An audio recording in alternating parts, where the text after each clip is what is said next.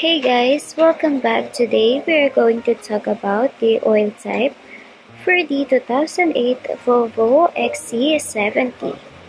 And if you are looking for what oil to buy for your car, I have already looked it up.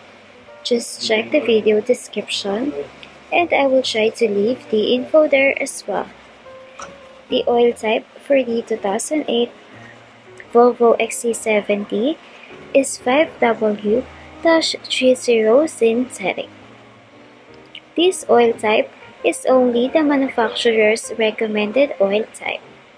Keep in mind that the type of oil could change depending on the year and mileage of your car.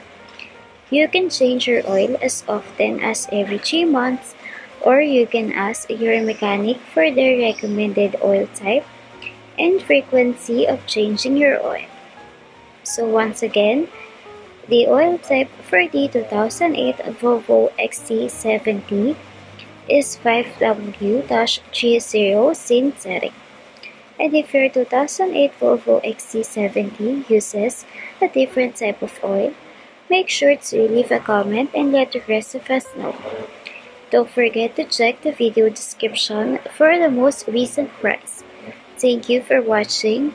Please like and subscribe.